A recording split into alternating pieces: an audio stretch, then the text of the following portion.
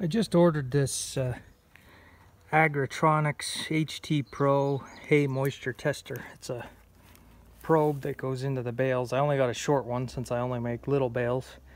Um, it was a like $189 I think. Uh, um, it says it's pre-calibrated. Uh, I didn't do any calibration on it. Um, the way I understand you push this button, give it a second, 12.8. And the temperature, to see how temperature, uh, how hot the hay is inside, 75 degrees. It's about 85 outside, so I don't know what the check mark is. But I'll just let it in the same spot and see. 12.7. I'll just do it one more time. 12.8 so it's it's tried in a couple of these were some I thought were some wet ones that I set aside. 14.1 they say anywhere from 16 to 18 percent. Uh, I was playing with it over here. This one was one I thought was a little bit wet. Just push the probe in 12.2 so it's not that wet. Try another spot. There's one here that tested real high. I was wondering what was going on. 14.7 is it this one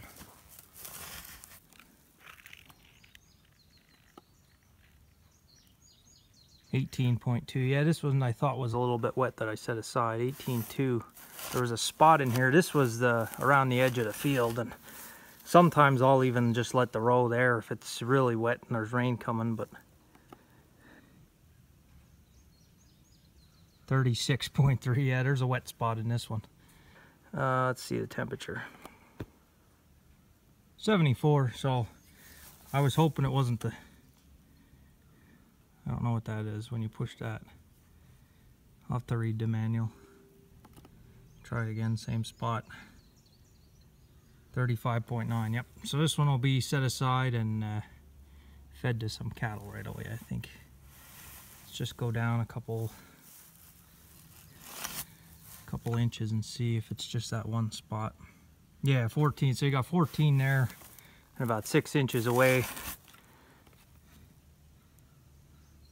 30 yeah so they just have a little bit right on the end of this bale. But uh, it's not still 74 degrees. Well it's better to not put it in the hay mow.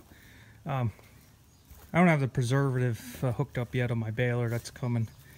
Uh, this is uh, some salt you put on every row of hay that you put in every layer in the barn I try to mix some salt in to help uh, preserve it. Plus the animals love it so that's a old-timey trick to take any moisture out. But uh, some of these that I thought were too wet, as long as the tester's working.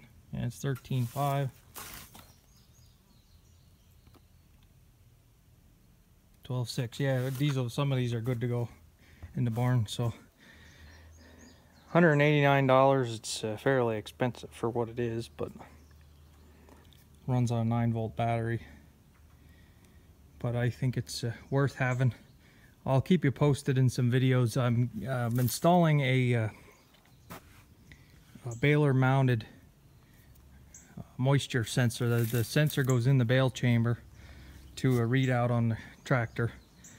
Um, and once I have my hay preservatives hooked up, it updates every three seconds. If I come into a wet spot or something, I can go and uh, add the preservative. So that's what I'm up to. I have some hay laying I want to bale today.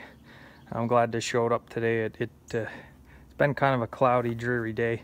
This salt I didn't think was too bad. It was $6.99 for uh, 50 pounds. So, and yes, they have a picture of a horse on there, so the horses should love it. and the animals need it too, so helps preserve the hay and uh, season it a little bit for the animals. So, thanks for watching.